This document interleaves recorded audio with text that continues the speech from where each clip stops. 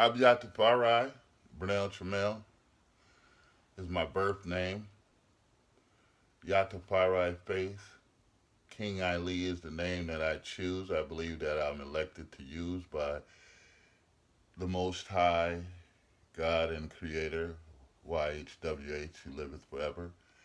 And the Nazarite Locked Israelite Camp is located in Milwaukee, Wisconsin, in the United States.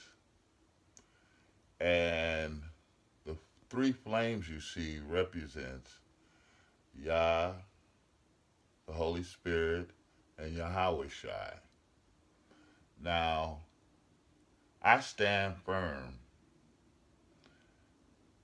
in YHWH, meaning I know to seek and seek to know and do know YHWH.